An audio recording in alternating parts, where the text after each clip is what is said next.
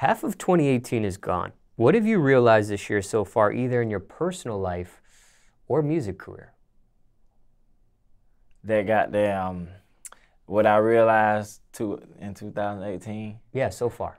is that you ain't even gotta have music no more. You just gotta have some fucking clout. Like you just gotta be popping on the ground. Musically, that's all you need. You know what I mean? Is clout chasing worth it? Hell yeah, clout chasing worth it, cause it, it- it's gonna it's gonna pipe everything up.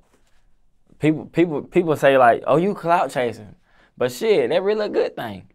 Shit, if if if the clout ain't chasing you, shit, you should chase it, or you just not gonna be popping. Cause in 2018, you gotta have clout. Have you been accused of clout chasing Yeah, probably. Yeah, yeah, I have.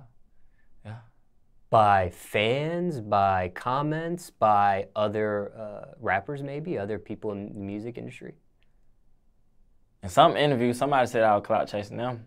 She said I, my ex said I tried to rob in China or, or some shit like that. that well, that was my partner told me. That was my boy said. He said she said something like that. I ain't see the interview, but he said she she said some shit like that.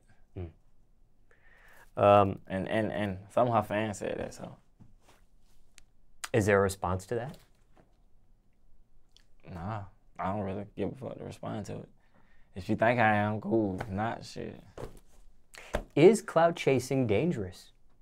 It depends on how you clout chase. It depends on what you doing to clout chase. Like sitting down, how he be like, all y'all niggas suck my dick. I think that that clout chasing. Cause if he say that shit to me, it's gonna be my life goal to catch this nigga. it's gonna be my life goal to catch this nigga. It- and I'm and I'm gonna entertain it because goddamn, I'm petty as fuck and I want the clout. I'm gonna just keep it 100. Now, uh, you admit to being uh, petty as fuck. Uh, I don't Yeah. think I've heard another guy uh, ever admit to something like that. Cause niggas just don't admit shit like that.